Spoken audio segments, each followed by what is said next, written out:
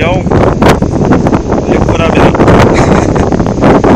I got the piranhas that just really doesn't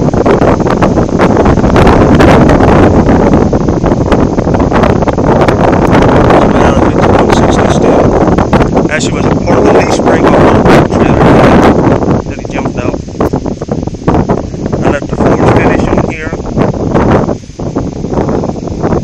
Put kind of a lean grind, scanty onions, kind of. I heat treated, uh, differentially heat treated it. Quenched the spine first, then left the back kind of soft where to have some spring when you hit it.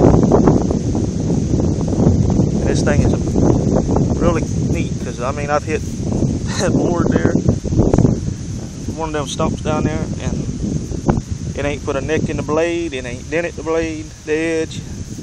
I can still go cut paper with it. Put some finger grooves in the handle.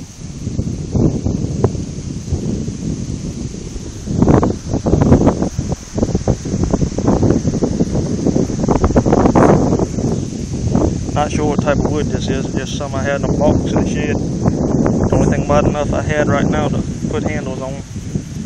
I put it on another one of his and it lasted, it's still good, so it's a cheaper wood, but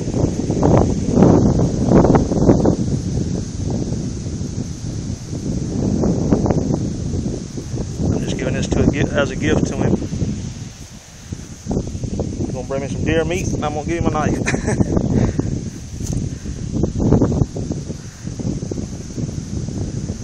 but uh,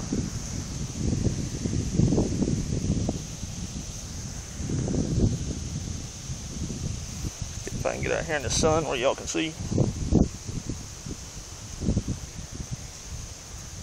Filed the hand grooves in with a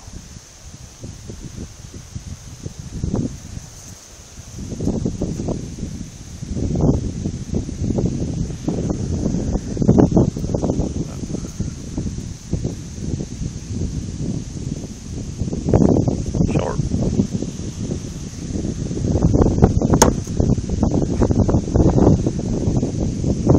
Let me know what y'all think.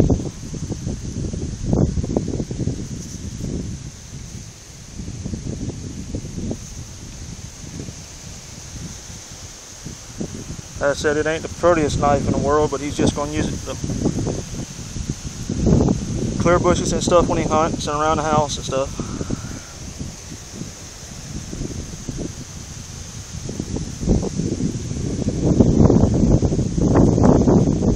Anybody's interested in maybe getting one of these, I'll be uh, if I get some orders for some, I can make make some more of them.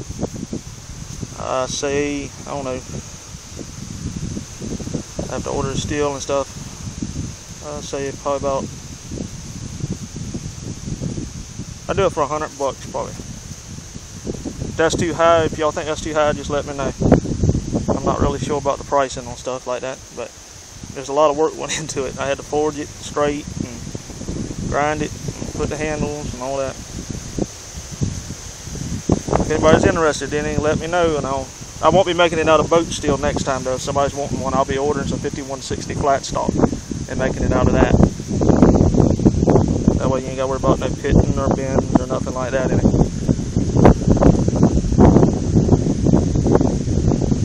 Let me know.